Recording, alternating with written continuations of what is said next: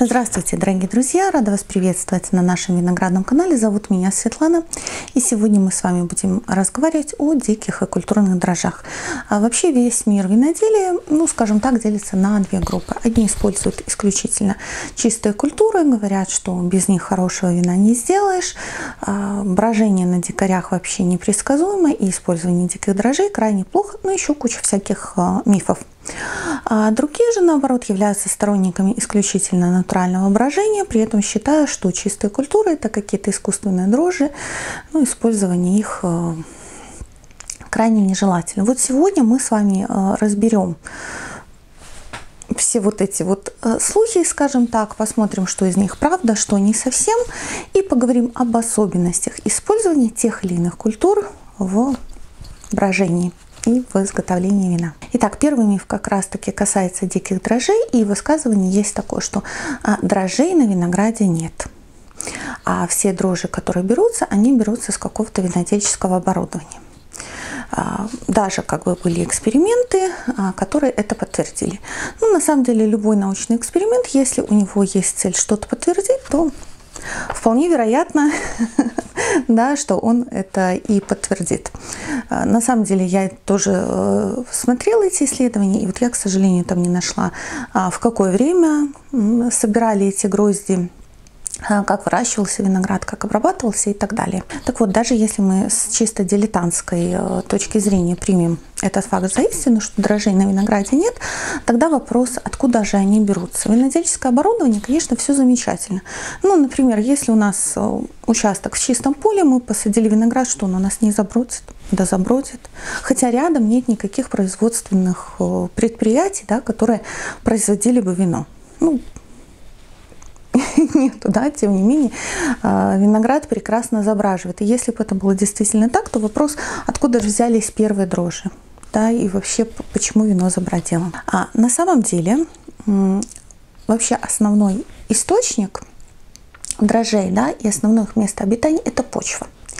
И э, Учеными было доказано, что количество дрожжей на низковисящих гроздях в 4,8 раза превышает э, количество дрожжей на более высоких высоко расположенных гроздях. То есть они обитают в почве везде абсолютно. И они на винограде есть. А даже в провинциях, где херес производят, там при прессовании а, землю добавляют. Как раз таки для обогащения вот этого сусла дрожжами. Э, так делать не надо. Сразу говорю, то есть э, они там специально это делают, они знают, что они делают.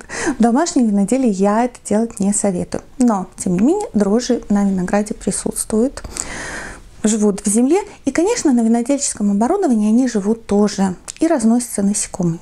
Ну, в винодельческих странах, где виноделия много, там все понятно. В странах, где виноделие не шибко развито, все все равно прекрасно забродит, и дрожжи есть. А второе высказывание, что да, дрожжи все-таки есть, но они там буквально в единичных количествах содержатся, а в основном содержится ну, всякий мусор, всякая грязь на виноградной ягоде.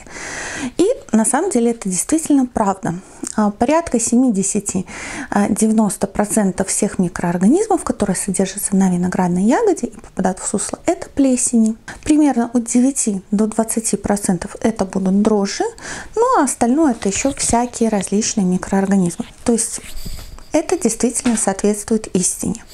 Но здесь есть и хорошая новость. Высокая кислотность виноградного сока и виноградного сусла убивает большинство из этих микроорганизмов, либо э, эта высококислотная среда является неблагоприятной для их размножения. Поэтому бояться их не стоит. И, кстати, здесь э, вот те, кто любит разбавлять водой сусло, да, почему это делать не следует. Или, по крайней мере, делать это с умом, потому что вот эта кислота, она является защитной средой. Но а, самые а, как бы кислотоустойчивые микроорганизмы – это дрожжи, которые нам нужны, и те же плесневые грибы. То есть все-таки они могут размножаться даже в нашем высококислотном сусле. Но здесь есть хорошая новость. Дрожжи размножаются в разы быстрее. И как только они начинают активно размножаться, они подавляют всех остальных. И поэтому у нас вино прекрасно забраживает, прекрасно сбраживает и получается нормальный продукт. 8 тысяч лет насчитывает история виноделия. Ну, как-то сделали весь этот период вино без а, чистых культур, без добавления серы. А, серу начали добавлять только там я уже сейчас не вспомню точно в каких веках, ну и то добавляли ее в минимальных количествах для дезинфекции посуды, но никак не для дезинфекции сусла. Ну о серии мы как-нибудь поговорим отдельно, мы все-таки разговариваем о микроорганизмах. А, так вот, а, когда наши дрожжи начинают активно размножаться, а, у них включается процесс брожения, они начинают вырабатывать алкоголь, который является защитной средой, они начинают вырабатывать углекислый газ и начинают активно потреблять кислород из сусла. Он там тоже содержится в растворенном состоянии. Именно поэтому э, другим микроорганизмам становится там жить и уж тем более размножаться крайне некомфортно. Поэтому с нашими суслами в большинстве случаев будет все в порядке. Э, почему еще э, говорят вот о том, что все-таки плохо использовать дикие культуры дрожжей? Э, дело в том, что э, есть, ну, скажем так, три группы вот этих самых дрожжей. Вообще, на самом деле, их много. Их много, и многие из них могут вызывать брожение и э, вырабатывать спирт. И в каждом регионе вот этот дрожжевой состав, он будет отличный. Но э, именно это и позволяет делать уникальное вино в разных регионах. Так вот, а, первые дрожжи, так называемые мусорные дрожжи, они работают примерно до 2-4% спирта. После этого они погибают. Вот они могут выделять специфическую ароматику, но опять же э, мнения расходятся. То есть кто-то считает, что она нежелательна, да, а кто-то считает наоборот, что именно э, вот эта ароматика придаст определенную пикантность и уникальность винам. А дальше уже э, вступают в работу, скажем так, благородные дрожжи, но они делятся на два типа. Одни могут сбраживать э, сахара примерно до 9-10% спирта, а другие вплоть до 19%. Так вот, первоначально в сусле преобладают эллипсоидные дрожжи, вот они сбраживают э, порядка 10% спирта. А Яйцевидные дрожжи, которые могут спрашивать э, более высокие содержания сахара и давать э, более высокие содержания спирта, их вначале мало, и они начинают свою работу в конце. Э, это, кстати, причина, вот кто регулярно делает вина, на определенных, вот когда остается совсем мало сахаров, брожение очень сильно замедляется. А, вплоть до остановки, но потом при а, определенных условиях оно начинается вновь. Это вот переключение с одних дрожжей на другие. И что очень важно, если у нас сусло высокосахаристое, то и содержание вот этих яйцевидных дрожжей, которые сбраживают более высокие уровни сахара и дают более высокие уровни алкоголя, будет больше. Вот здесь большой привет тем, кто добавляет сахар порционно. Если уж нам действительно есть необходимость добавить сахар в сусло, то делать это надо в самом начале, чтобы количество вот этих яйцевидных дрожжей, способных сбродить высокое количество сахаров, было больше. Ну, к вопросу о том, насколько брожение на, э, на диких дрожжах а, является непредсказуемым и неуправляемым. Ровненько так же, как и на чистых культурах. Если мы знаем вот то, что я вам сейчас рассказала, мы понимаем эти процессы, то мы можем ими и в какой-то степени управлять. Да, вот э, касательно сахаров, я вам уже сказала, что если мы все-таки хотим добавить сахар, нам нужно э, его добавлять, мы его добавляем в начале и таким образом э, делаем вероятность полного сбраживания вот этих самых сахаров гораздо выше. Теперь перейдем к вопросу, кто такие чистые культуры? А, и сразу миф про них, да, что это какие-то искусственные дрожжи, вплоть до ген-модифицированные. Смотрите, чистые культуры – это абсолютно те же дрожжи, что и дикие. Единственное их отличие. А, вот есть, да, я вам сказала, эллипсоидные дрожжи, есть яйцевидные дрожжи, но у них еще есть расы различные, которые несколько отличаются между собой. Так вот, в свое время ученые вот из тех же природных источников, с того же винограда, с той же почвы, в определенных местностях они высевали вот эти дрожжи, с ними экспериментировали и выбирали из них лучше. То есть на самом деле это ровненько такие же дрожжи, просто прошедшие очень длительный отбор по определенным критериям. А, так есть дрожжи, которые считаются там наиболее э, лучшими, к примеру, да, для сбраживания сорта сорта Каберне или Шардоне. То есть они просто были выделены вот в этих местностях, где традиционно производились вина из этого сорта винограда. И кто-то решил, да, какой-то эксперт, что вот ну, не один, конечно, их была группа, что вот э, эти дрожжи, они ну, наиболее как бы являются лучшими для получения вот, вот такой определенной ароматики. То есть бояться их тоже не стоит. Это не что-то супер какое-то вот искусственное, непонятное. Нет, на самом деле это такие же дрожжи, просто выделены определенным способом. И использование таких э, чистых культур началось э, примерно с конца XIX века. А, ну, у них как бы был очень длинный путь, да, кто-то считал, что все-таки на таких дрожжах а, сбраживать лучше. Конечно, там была и коммерческая составляющая тоже до определенного времени, только одна компания имела патентное право продавать эти дрожжи, а, ну и разные специалисты. То есть кто-то считал, что да, вот они дадут какую-то супер ароматику, а другие считали, что значение вот таких культурных дрожжей а, все-таки слишком переоценено. И это было вплоть до а, примерно 70-х, даже 80-х годов, когда в учебниках встречалось, что все-таки ну, значение культурных дрожжей в плане ароматики слишком Э, переоценивают. Однако, ну, уже все-таки и 21 век, и уже да, мы в нем живем больше 20 лет. Поэтому, э, конечно, наука не стоит на месте и э, работает в этом направлении. И действительно, я сама пробовала вино, приготовленное из одного и того же сорта винограда, с использованием разных культур дрожжей, и оно по вкусу было разным. Ну, тогда а те люди, которые дегустировали, вот одним понравилось одно, другим другое. Ну да, вот, вот так и есть. А, вообще все дрожжи а, дают примерно одинаковый химический состав ну, вот этих ароматических веществ, но пропорции разные.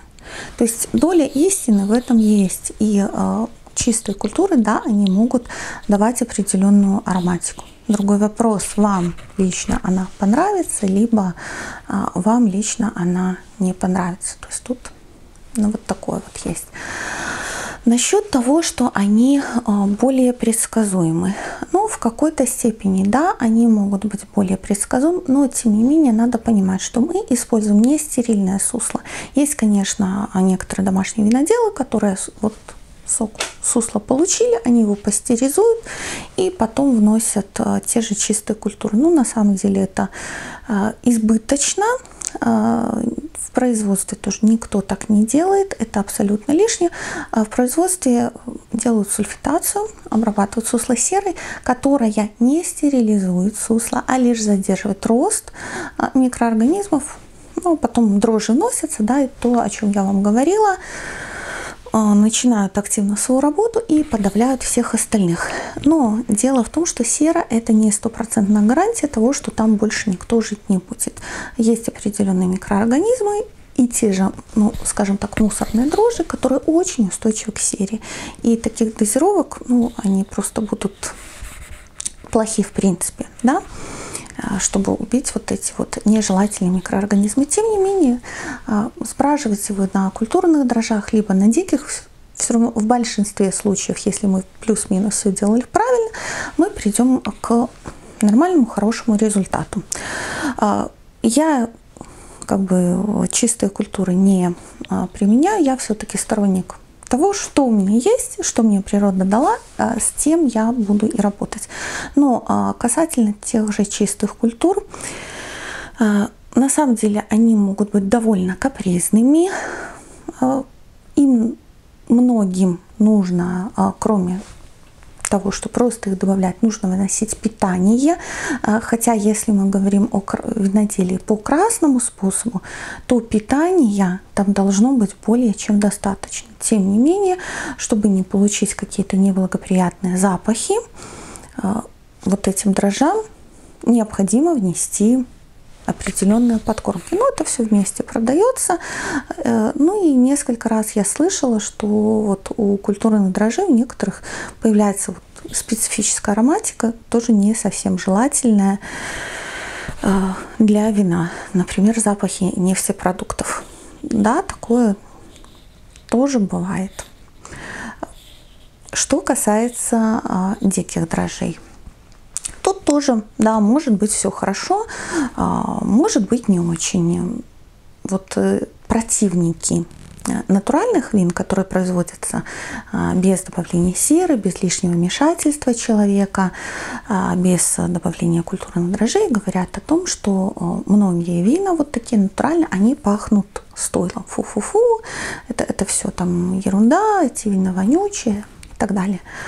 Но честно вам скажу, что за, наверное, 8 сезонов виноделия, ту-ту-ту, конечно, а, ни разу я не чувствовал запаха стойла, запаха животины. А более того, несколько раз меня и угощали а, вот такими натуральными винами, и там я тоже запаха стойла не почувствовал. Да, он может действительно быть, но далеко не всегда. И может и не стоит его столь бояться. То есть на самом деле использование диких дрожжей не настолько страшно, как о нем говорят. Впрочем, как использование культурных. Тут уже каждый решает, э, что ему э, проще, что ему ближе по его философии и по его мировоззрению. И э, я бы сказала, что очень неправильно говорить, что вот такое вино лучше, вот такое вино хуже. Они просто разные. И кому-то нравится одно, кому-то нравится другое. Но что касаемо использования э, диких дрожжей. Все-таки желательно делать закваски перед тем, как ставить на брожение. Смотрите, э, если мы э, делаем, ну, даже возьмем вино по красному, хотя и по белому тоже. Вот мы ягоды подробили, поставили, у нас забраживание начинается примерно на третьи сутки, иногда на четвертые. Если у нас сусло высокосахаристое, оно забродит позднее. То есть оно, оно забродит, но оно забраживает позднее. И вот часто сейчас сезон, да, а, пишут в комментариях, «А у меня там день прошел, вино не забродило, два дня прошло, вино не забродило, ай-яй-яй, что делать? А, оно забродит, но нужно время, чтобы дрожжи накопили определенную массу и включили вот этот вот бродильный процесс. И, конечно, в это время наше сусло является не, ну, да, кислота его защищает определенным образом, но все равно там еще могут размножаться какие-то другие микроорганизмы. Они могут, ну, многие же так делают, и э, ничего страшного. Но это не совсем желательно. И лучше использовать закваску. Что такое закваска? Все то же самое, только в маленьком количестве. Примерно за неделю, лучше за полторы, до того момента, как мы начинаем собирать основной урожай, мы берем где-то гроздь, две ягод, снимаем их с гребней, давим и закрываем в баночку и ставим в темное место при той температуре, при которой у нас в дальнейшем будет наше вино бродить. А, вот это важно, потому что дрожжи изначально, вот они очень не любят перепады температур. Если они как бы привыкнут работать в холоде, они будут работать в холоде. Я несколько раз показывала, что у меня вино прекрасно бродит и при температуре 10 градусов. Вот пример. Термометр, сусло где-то 12 градусов. Видим, активная пена и вот затвор. В этом же помещении при той же температуре еще одно сусло. И вот смотрите, как оно активно булькает. 12 градусов при этом. все нормально, просто дрожжи к этому привыкли. А вот если мы их из плюс 25 перенесем в плюс 10, вот для них это будет стрессом, для них это будет шоком в таком случае. Часто затор разворачивается в обратную сторону, перчатка втягивается внутрь, это перепад температуры. И у дрожжей а, процесс брожения выключается, начинается процесс дыхания, они втягивают воздух. То есть Используя закваску, мы можем изначально приспособить дрожжи к тем условиям, в которых они потом будут работать. И помним про сахар. Да? Если мы планируем сбраживать высокосахаристые сусла, ну, например, мы хотим э, сделать какие-то процедуры увяливания, да, повышения сахаристости. Ну, я, я против э, добавления сахара, но иногда ну, кому-то хочется, да, кто-то считает это для себя э, необходимым. Иногда это действительно необходимо. Так вот, вот в этом маленьком объеме мы можем тоже изначально добавить сахар, повысить его там до 25, даже до 28 процентов. Оно будет долго забраживать. Но потом оно забродит, и мы получим нужную нам массу микроорганизмов, которые затем прекрасно сбродят наше сусло. А пропорции примерно когда вот у нас очень активно началось брожение, то есть, а, повторюсь, желательно недели за полторы, потому что а, дня 4-5 это будет забраживать, а потом то есть нам надо не просто, чтобы оно активно забродило, а чтобы оно немножко побродило. Да, съелись э, немножко сахара, выработался спирт. Помните, примерно 2-4% и мусорные дрожжи умирают.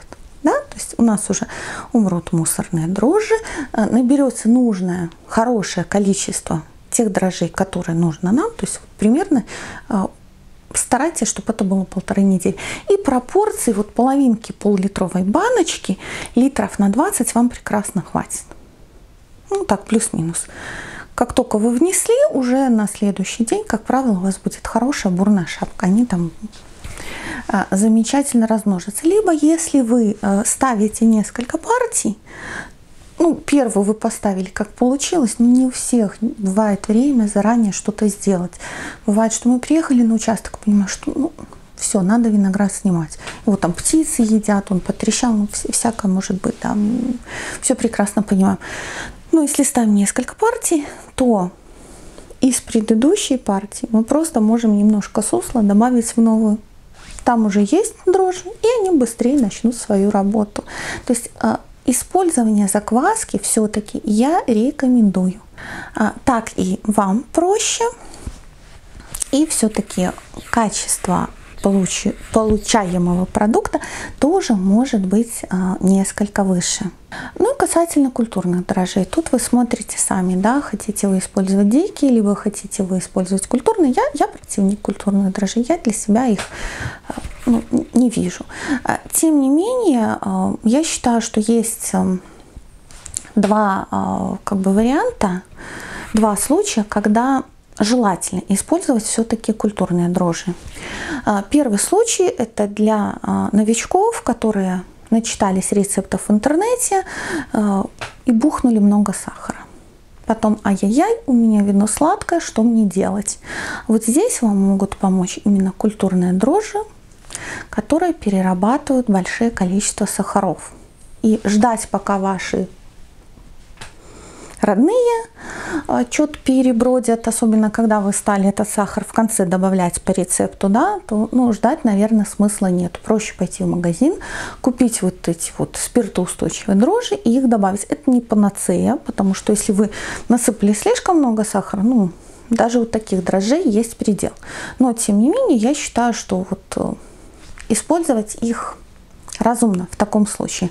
А второй вариант, если вы используете а, покупной виноград, он может быть э, чем-то обработан, и изображивание его может быть проблематично. То есть, э, если у нас, конечно, откуда-то есть закваска, да, либо мы там покупаем вторую партию винограда, либо у нас был какой-то свой, а мы решили еще подкупить, и у нас есть что туда добавить, замечательно. А добавить туда а, нечего, то а, я думаю, что имеет смысл сбродить на культурных дрожжах, потому что, повторюсь, виноград мог чем-то а, обрабатываться и действительно содержание дрожжей там может быть а, очень слабеньким, и пока, пока не забродят, ну, это будет а, очень длительный процесс. И третий вариант, третий случай, ну, на самом деле очень редкий, но он тоже может иметь место. Если ваши собственные дрожжи, вот вы а, поставили один год, второй, и понимаете, что да, вот есть какой-то запах животины, а, есть какие-то неприятные привкусы, ну, что поделать, у вас вот могла сформироваться на участке такая микрофлора. В таком случае, конечно, тоже имеет смысл использовать э, культурные дрожжи. Но в остальном выбор за вами. На самом деле бродят нормально и те, и другие. Но дальше все вопрос личных предпочтений, убеждений и удобства. На этом я с вами прощаюсь. Большое вам спасибо за просмотр. Подписывайтесь, ставьте лайки, пишите комментарии под видео, нажав кнопку еще. Ссылка на каталог наших сортов винограда и контакты. До новых встреч!